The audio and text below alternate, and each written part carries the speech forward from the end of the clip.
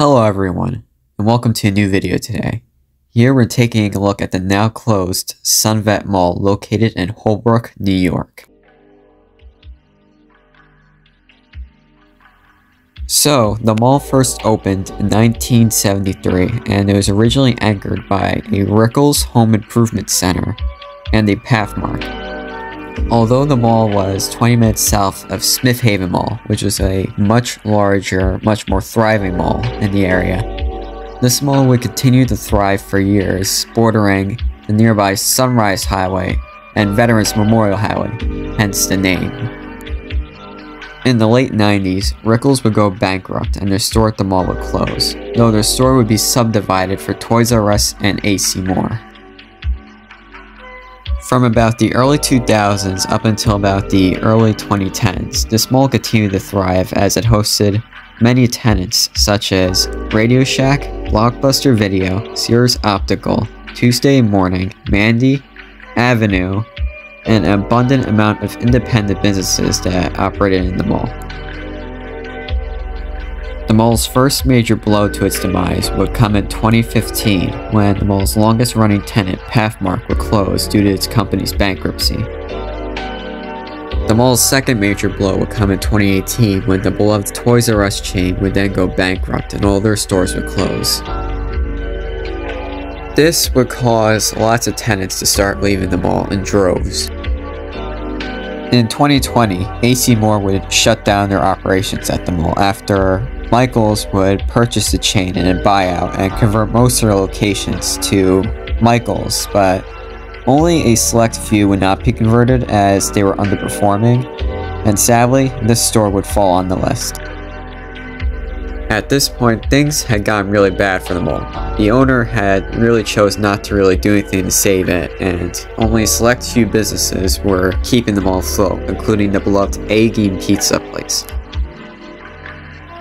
By 2022, the pizzeria would have shut down, leaving just four tenants left at the mall.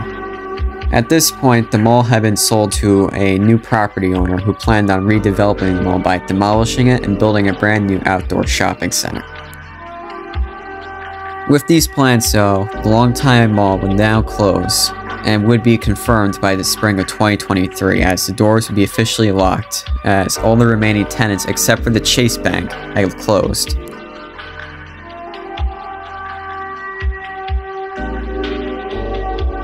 Hey guys, this is Cool Cat Productions here again. Obviously, you're probably questioning why you're seeing 2022 footage on this mall instead of this year. That is because by the time I had come out to this mall, the doors were already locked. So I knew my last visit to this mall would be the last time I would step foot in this mall again. So I decided to use some of my old footage for this mall, as well as some footage I never actually released so you guys would be seeing this for the first time. This mall to me was one of my childhood malls. I frequented the Toys R Us and the AC Malls a lot as a kid, so this is truly sad to see this mall die off and about to be demolished very soon. I made a lot of good memories at this mall, and for that I'll always cherish. But as a result of changing retail climates and Amazon, this place could sadly not survive, especially with the big Smith Haven Mall up north. Some of the only confirmed redevelopment news for this mall is that Whole Foods and Starbucks are set to take the property, which, like, we need another one of those.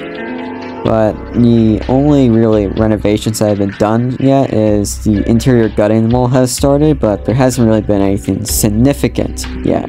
But I assume by the fall, a lot of the progress is going to be underway. Well guys, this is where the video comes to end. If you have any fond memories, please share them in the comments section down below as I would, would love to hear them. For any of my subscribers, I apologize for my lack of uploading recently as I have been extremely busy and this has been a lot of overwhelming just to get this video done as I put a lot of effort into these videos now so I hope you guys are enjoying the content. So guys, you'll see some update footage here in a few minutes.